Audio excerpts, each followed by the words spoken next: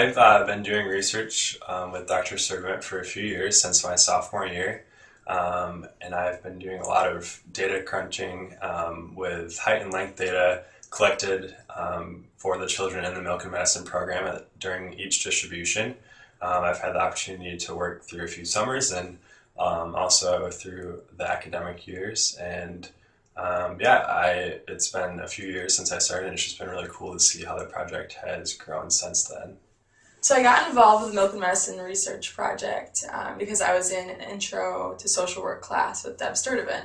During class, she ended up presenting her prior research there, and I ended up raising my hand in the middle of class because my niece is Zambian and she's adopted out of that organization. And it was just a crazy small world. So um, we ended up meeting after class and then kept meeting, just explaining my heart for Zambia and my passion for vulnerable children. And she ended up asking me to join her research team. The possibility of actually going to Zambia was something that was kind of always on the horizon, um, even when I first started the project. As things kind of started getting pieced together, um, it just got closer and closer. I tried to hold back my excitement as much as I could. Um, just because I knew that so many things had to come together for it to work out um, funding, paperwork, all of that good stuff. Um, so when it finally all came together and we knew that we were going, it was just really exciting to know that we were actually going to be able to go and to see the program and to meet the kids and the families in the program.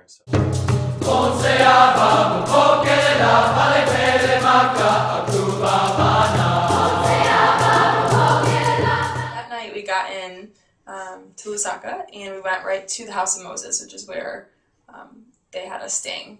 And the House of Moses is the center or the, the main site for the Milk and Medicine program, um, and where some of the social workers are. And that is also the orphan transit home or the orphan crisis center. On one hand, these are my niece's friends, um, who even some of them I've met last summer. And so seeing them and just seeing them purely as my niece's friends um, is a beautiful thing. And of course, I want to interact with them and play with them. Um, on the other hand, I can't ever forget that they're orphans. And so they come with a lot of trauma, um, a lot of attachment issues many times. And so it's very, very important to be aware of how um, we were interacting with them. And yeah, it's it's unlike anything, any other experience. Um, think when you look into an orphan's eyes, um, your life is radically different from that point on. It doesn't get easier, um, and I don't want it to get easier because I don't want to become desensitized um, because it is um, obviously a tragedy. It was challenging, but um, that's one of the reasons I'm so passionate about the research that we were doing. So there were a lot of images that kind of stuck with me from our trip to Zambia, but I think in particular there was one that has just kind of been in my mind ever since. Um, one of the first distribution days that we went to, there was a woman who came in carrying, um, well, actually, it was her daughter. At first, I thought it was her granddaughter just because the caretaker looked so old and just so weathered, but um, it was her daughter that she was bringing in. Um, and she had to carry her in because she was so thin. Her arms and her legs were just sticks, like unlike anything I'd ever seen before. Um, and the, the girl was probably about eight or nine years old, but just totally incapable of bringing herself in. So it was just really awful to see that and to really experience that level of malnourishment. It's just not something that I personally had ever experienced before. And it was, again, just something that you really can't understand without actually seeing it. So, first, we observed the whole distribution process where the Christian Alliance brings all the supplies, um, the milk, the food, the supplements for the families. All the children and families are called up one by one um, to be measured for their height and their weight. All the families are called one by one to receive their supplements. And it was a very long process. It was probably two or three hours just of that. Um, we just got to observe, and um, it was very, very heavy environment. Um, at least for the first compound we went to, and Um, it's just very real poverty that just kind of hit us in the face. Yeah, so after that, though, um, we got to interview these families that the Christian Alliance had appointed for us. And that was a really beautiful thing to see their perspectives on the program because even though we kind of sensed this like heaviness and this poverty, um, a lot of them were so thankful and so happy to be there and to receive these supplements and more so even to build relationships and um, feel very confident and feel like themselves and detached from any stigma. Um, and that was a really, really beautiful thing. For the interview process, we were split up into two teams. So I was with Dennis and um, David was with Deb. And um, the Christian Alliance gave us at least three or four caretakers from each family in the program to interview.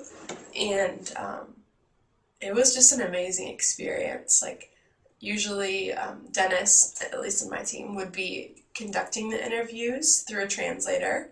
Um, and then I would be writing down notes, like, as much as I could.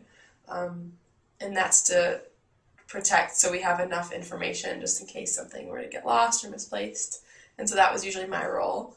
But then um, throughout the whole week of doing that, at the end, I was able to do a couple interviews, and so was David, and that was an amazing experience um, to be able to be doing professional interviews in the middle of a compound in Zambia uh, was just absolutely incredible. And so, yeah, it goes through a translator, and then we got to hear uh, perspectives on this program and what it means to the families and the impact it's had on the community, and it was absolutely wonderful.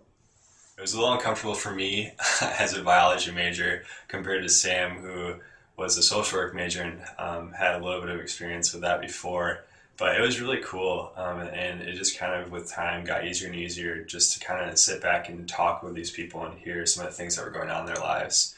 Um, it was really, it was just really powerful. Another cool part about our time in Zambia was getting to actually interact with the staff um, and the caretakers um, involved in the program. Um, there were several who actually um, lived at the place where we stayed, and it was cool to get to know them and um, spend some time with them. And they were actually the main office of the program um, was at the place where we were staying. So, like the director was there, and some of the people who helped organize the distributions were there. And it was just really, it was great to be able to get to know them and spend some time together and to see their perspective. Um, especially it was really cool to uh, spend every morning. Um, we had devotions, and it was really cool to get to spend that time with them too, and just start off the day um, with a really similar focus, even though we were doing very different different things. But coming back, um, I had a totally different perspective on the research in a number of ways. Um, there were things that I didn't really realize without going um, that I now realize coming back and doing some of the research that just made so much more sense. There were pieces that I kind of could put together having actually been there and seen the distribution and like seeing how the kids were weighed and how they were measured.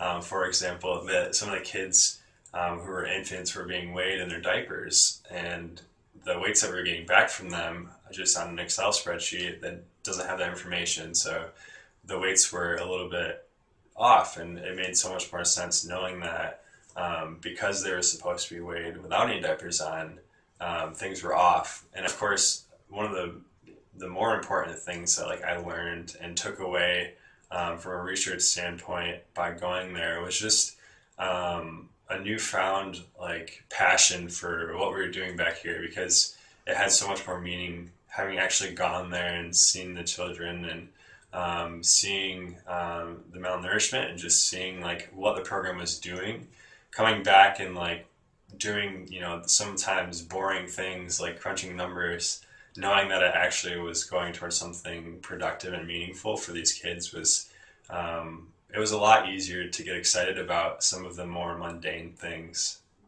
And what i was doing was taking these recorded interviews that we'd done in zambia and redictating them um, into another recorder so that they were all in English instead of the translation time and um, the tribal languages. So I was listening in one ear to our interviews we did and then dictating them back into another recorder. And we'd go through each interview and pick out large themes and quotes and just anything that really stood out to us that we thought was really necessary that the program would, you know, hear back from us. The big overarching theme we found um, was vulnerability versus empowerment, like a spectrum.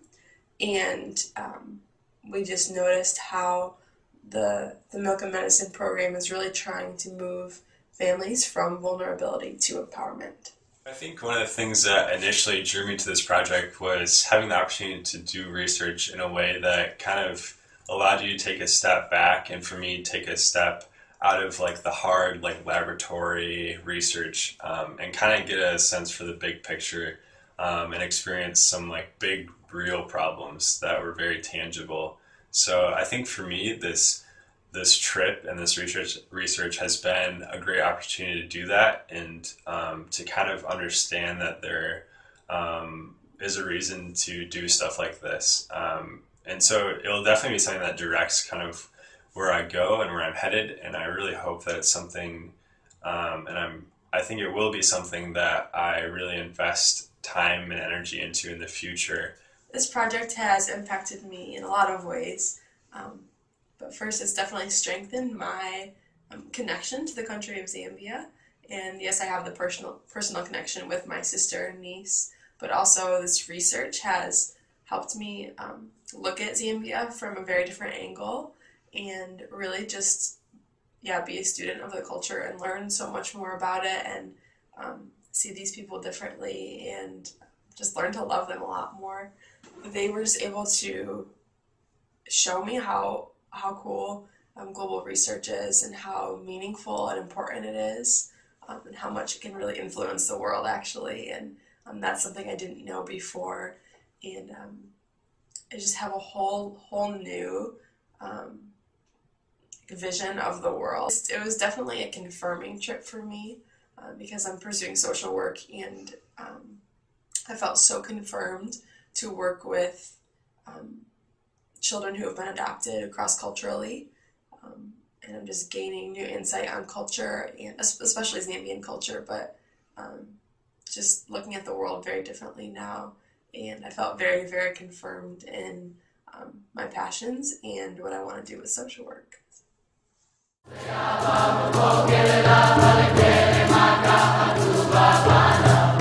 yeah, yeah.